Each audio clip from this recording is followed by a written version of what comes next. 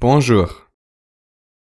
Bienvenue und herzlich willkommen bei meinem Übungsvideo zu den Indefinitpronomen tu und chaque.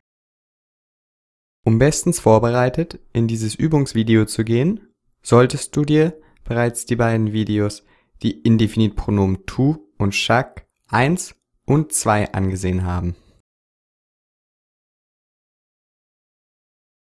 Tu es prêt? Bist du bereit? As-tu quelque chose pour écrire? Hast du etwas zu schreiben? Dann kann es ja auch schon direkt losgehen. C'est parti!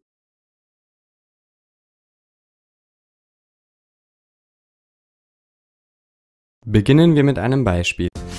Den kompletten Film und viele weitere findest du auf www.sofatutor.com. Über 7000 Lernvideos erklären dir, was du für gute Noten wissen musst. Tests überprüfen dein Wissen nach jedem Video.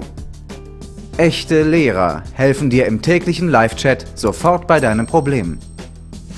Du kannst außerdem Privatstunden bei deinem persönlichen Online-Tutor buchen, um tiefer in ein Thema einzutauchen. So helfen wir dir, deine Zensuren ohne großen Aufwand zu verbessern. Probiere es am besten sofort aus auf www.sofatutor.com.